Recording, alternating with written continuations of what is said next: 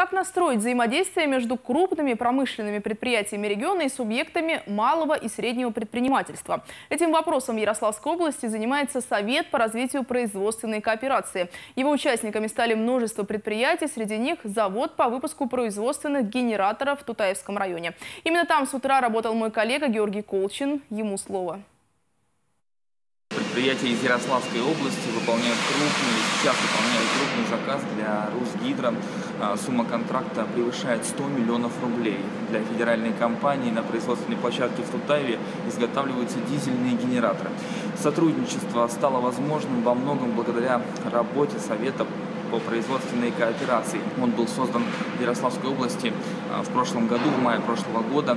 Участниками заседаний становятся предприятия малого и среднего бизнеса, а также крупные федеральные холдинги.